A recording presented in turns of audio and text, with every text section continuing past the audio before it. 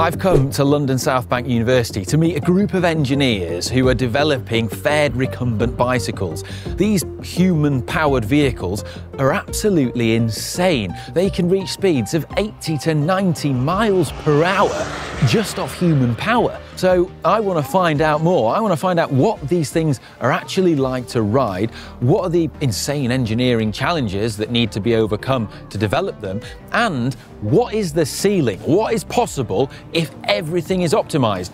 Could they break 100 miles per hour? Let's find out. But what is a faired recumbent, I hear you ask? Well, a faired recumbent is basically a bike shaped like a bullet. Faired because it's covered in an aerodynamic fairing, and recumbent because that's the rider position inside. By effectively lying down, you can make these bikes around 20 times more aerodynamic than a normal upright bike. But to find out more, I'm going to speak to Barney Townsend, a senior lecturer in engineering and product design at London's South Bank University. Barney and his engineering students design and build these incredible machines. Thanks for inviting us down, Barney. The first thing I want to know is how fast can these things go? World record currently stands at 89.5 miles per hour on a bicycle with a very little amount of material between and, and, yourself and the road. And just to be clear, that's on that's on the flat as well. It's not like it's it's not like downhill um, or, or anything like that. It is just pure like human power. Pure human power on the flat. The course where they uh, hold the uh, World Human Powered Speed Challenge is a five mile long arrow straight road in the northern Nevada desert with less than 1% gradient over the length of the road. So something that stands out, this one has a window so yep. you can see where you're going. This one doesn't appear to have any windows. How, how, how, how, how? okay, so that one does have a window, but you're not going to see much out of it if you look directly through it. If you imagine a postage stamp beyond your feet, with your feet in the way, it's there to have a, uh, a camera in the nose uh, so you can see through the window, and then the camera relays that shot back to a, a small screen in front of your face. Right. This bike uh, we're looking at now is 77 from Russell Bridge. Russell chose to remove the window at the front and put his camera on a stalk um, further back on the bike. The air is more turbulent here, so aerodynamically there's less of a penalty. Um, and you can see inside that translates the footage down to a camera that hangs right in front of his face, and a screen rather. It's like the inside of like a, a jet fighter or something. It's, it's crazy from the, the various simulations we've done or what we know about top end human power capability, what we think we can do with aerodynamics, we think 93 miles an hour is probably possible. This is why our project is named AIM 93. 93 doesn't sound like a big uh, increment on the current record of 89 and a half. Yeah. But given that it's a um, cubic power law in terms of the power you've got to put in, that difference is actually a, a, country mile. At that stage, it's all in the aerodynamics. Assuming we have a, a relatively consistent top level power delivery from the highest athlete that we can find, the relative proportions of the losses in the drivetrain become much less. So the optimization on that will be as they do in Formula One, they, they, they shape the cockpits around the, the driver, they then bring it all in as closely as they possibly can. Can I try sitting in one of these? Of course. You're a couple of centimetres bigger than me, so you probably won't fit in. It's a bit like getting into a toothpaste tube. Um, I mean, I'm just about in. I don't think this will look comfortable on camera, and I can assure you it's not. it's not particularly comfortable for me. It's, it's probably very, very fractionally too small for me, but you could argue that that's ideal. So 74 miles an hour in this, that blows my mind. What sort of power were you having to produce in order to do that? I was doing about 280 watts on the on the run up and then about 450 to 500 in the in the final sprint. So recumbent muscles tend to recruit a different group of muscles coming up. So you need to be fit enough to put the power out in the position. And then you need to have lots of lots of recumbent experience because what tends to happen when you start sprinting on a recumbent is that your head moves from side to side, which takes the bike over the road. So you need experience in keeping it steady and, and putting the power out.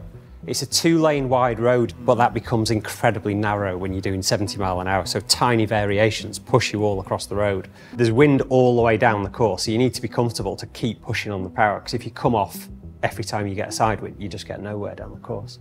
In the past, we've run a direct drive system from the front chainring onto a sprocket in the front wheel. As that moves forwards and backwards, that would be making quite a significant difference in the chain length, which is problematic. Most teams resolve that by using a crossover drive system, drive from the chainring up to a crossover axle, and a secondary chain that is driving almost in the line of the steering system, so that when you rotate the steering wheel, you're not applying as much tensioning and untensioning or, or difference in length to the chain itself. We're actually trying to shorten the bike as much as possible. This is one of the reasons behind moving to a 20 inch wheel on the back end, it means we can lie him down much more closely onto it. Yeah.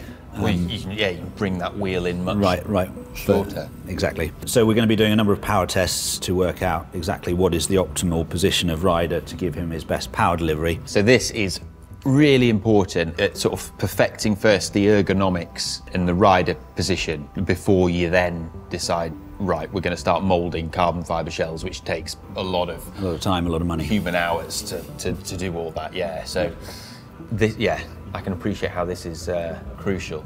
We have the moulds for our old aerodynamics, and it's a relatively much shorter process to lay back up into them, but testing different construction methods, different core materials for light weighting, different stiffnesses of different uh, weaves of, uh, of carbon, carbon Kevlar, the balance between weight, protection, stiffness.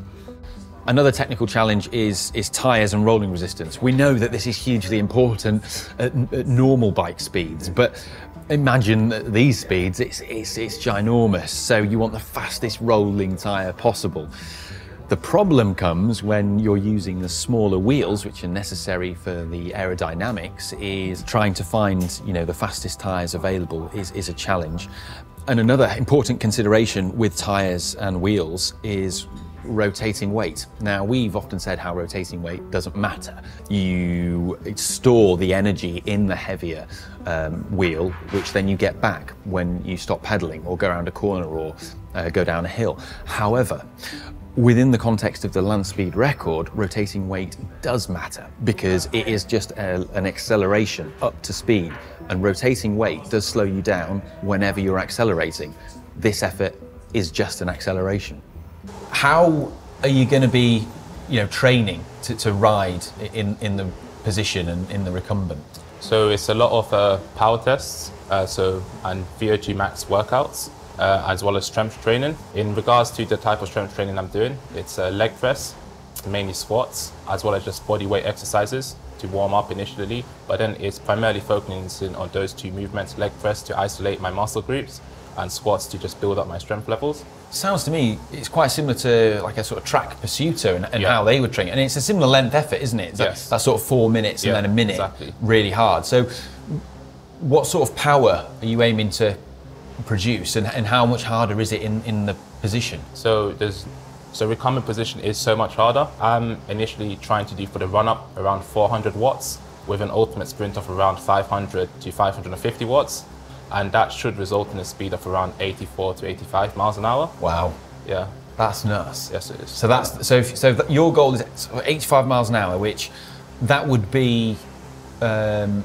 a, a new British record. Any British record, yeah, that would be. Yeah. The current record stands at uh, 76 miles an hour. My friend Ken has it, so he'll be delighted to hear that you're you're going to beat him. Yeah.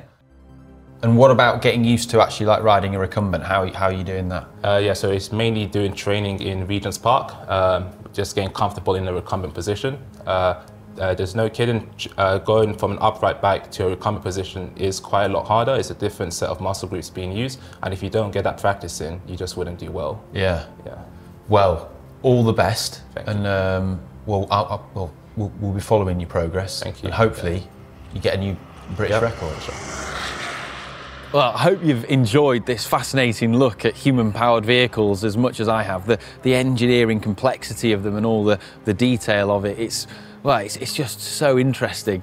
And big thanks to Barney and his team for, for showing us everything today. And if you want to, well, stay up to date with how they get on when they go to Battle Mountain, well, subscribe if you like this kind of content because I'll be posting some updates in the, in the tech show uh, as and when they happen. And uh, I'll tell you what else I'm going to do. I'm going to get, I spoke to Barney just before we left, I'm going to get some Silca hot melt wax to him in the post because that should save him a few watts in the, uh, in the drivetrain, especially as they have two chains. Anyway, I'm gonna, I've got to go catch a, tr- a train now back to GCN Megabase. I'll, uh, I'll catch you later. Love you. Bye.